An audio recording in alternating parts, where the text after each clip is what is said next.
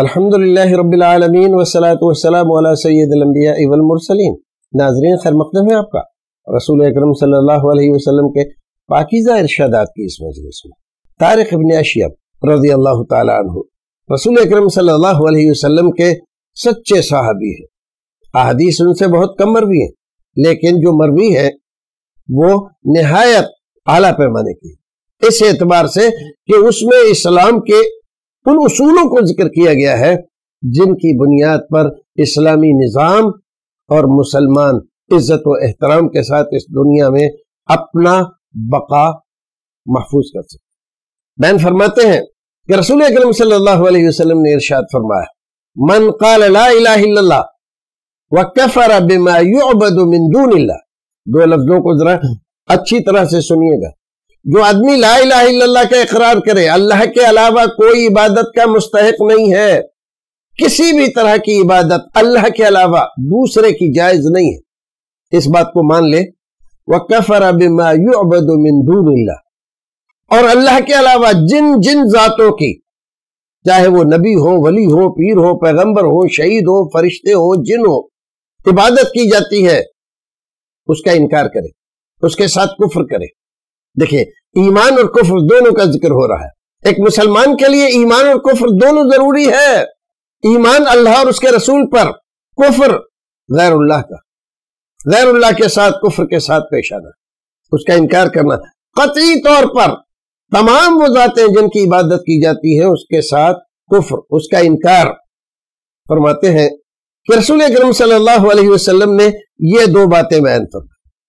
کلمے کا اقرار کرتا ہے۔ اللہ کی وحدانیت، رسول کی رسالت، اور اس کے تقاضوں کو پورا کرتا ہے۔ اللہ کے علاوہ کسی کی عبادت نہیں کرتا۔ اور رسول اللہ صلی اللہ علیہ وسلم کو چھوڑ کر کسی کی فرما برداری نہیں کرتا۔ فرماتے ہر مال دبو تمام دنیا کے لوگوں پر، تمام مسلمانوں پر اس کا مال لوٹنا، اس کے مال کو نقصان پہنچانا، اس کی جان کو نقصان پہنچانا۔ حرام ہے، اللہ رب العزت قیامت کے دن ان کو سخت سزا دے گا۔ جس نے ایسے مسلمان کو جو کلمے کا اقرار کرتا ہے اور کلمے کے جو تقاضے ہیں ان کو پورا کرتا ہے اس کے مال کو نقصان پہنچایا تو پکڑا جائے گا، جان کو نقصان پہنچایا تو پکڑا جائے گا۔ وہ حساب اللہ رہی ان کی کوتاہیاں، بعض ایسی باتیں جن پر ہمیں اعتراض ہوتا ہے، جس سے لگتا ہے کہ یہ تو اسلام کے خلاف کر رہا ہے۔ یہ تو رسول اکرم کے فرمان کے خلاف کر رہا ہے، یہ قرآن کے خلاف کر رہا ہے، یہ حدیث کے خلاف کر رہا ہے۔ یہ ساری باتیں جو ان کی زندگی میں آنے والے بعض وہ مسئلے ہیں جن پر انہیں دیکھ کر ہمیں بدگمانی پیدا ہوتی ہے ان کے تعلق سے۔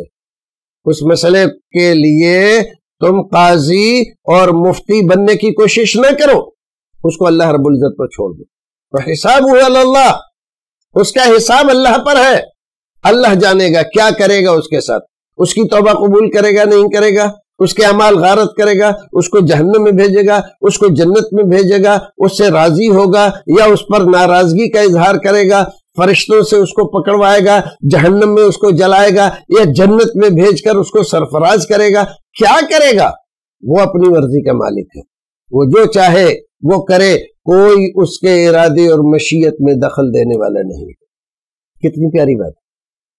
کتنی پیاری بات ہے، اگر اس بات کو آج ہم مان لیں، اس کو سمجھ لیں، اس پر عمل درآمد کریں، اور جب کسی مسلمان کے تعلق سے ہم کوئی ایسی بات سنیں، کوئی ایسی بات محسوس کریں، جو ہمیں بظاہر لگے کہ یہ تو اسلام کے خلاف، یہ تو حدیث کے خلاف، یہ تو رسول کے خلاف ہے، تو اس کو چھوڑ دیں۔ اس کے لیے دعا کریں ہدایت کی۔ اللہ رب العزت اس کو ہدایت سے نوازے۔ اللہ اس کو توفیق دے۔ یہ بدعملی سے باز آ جائے۔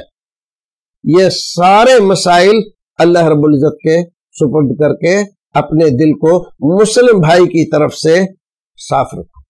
بدگمانی رکھ کے کینا رکھ کے کپٹ رکھ کے آپس میں ایک دوسرے کا خون بہانے کے لیے تیار نہ ہو جاؤ۔ ایک دوسرے کو نقصان نہ پہنچاؤ۔ ایک دوسرے کے گھروں پر، مسجدوں پر، مدرسوں پر قبضہ کرنے کی یہ جو سازشیں چل رہی ہیں اور ہمارے یہاں بعض لوگ اس کو بڑھاوا دے رہے ہیں، مولوی نما لوگ۔ وہ لوگ جو اپنے آپ کو دین کا ٹھیکیدار سمجھ رہے ہیں، جو فوجدار سمجھ رہے ہیں، یہ بہت بڑی غلطی کر رہے ہیں۔ نہ دنیا میں اس کا ان کو کوئی بدلہ ملنے والا ہے، نہ آخرت میں ان کو کوئی بدلہ ملے گا، بلکہ ان کو زبردست سزا ملے گی کہ جب میرے رسول نے کہہ دیا تھا حساب اللہ، ان کا سارا حساب کتاب لکھا جوکھا، سب اللہ رب العزت دیکھے گا۔ تم لوگ اس چکر میں مت پڑو۔ کون مسلم ہے، کون منافق ہے، کون کافر ہے، یہ سب فیصلے اللہ رب العزت کے ہیں۔ ان کو چھوڑ دو، اس پر چھوڑ دو۔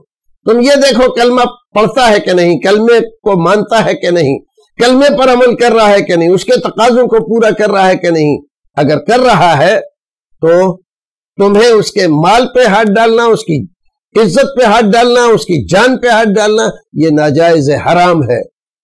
حرم مالہ و دمہ اس کا مال اور اس کی عزت، اس کی جان، یہ سب حرام ہے تمہارے لیے کہ اس میں ہاتھ ڈالو۔ پروردگار ہمیں اور آپ کو نیک عمل کرنے کی توفیق عطا فرمائے۔ السلام علیکم ورحمۃ اللہ وبرکاتہ۔ دیکھتے رہیے آئی پلس ٹی وی، بہتر زندگی کے لیے۔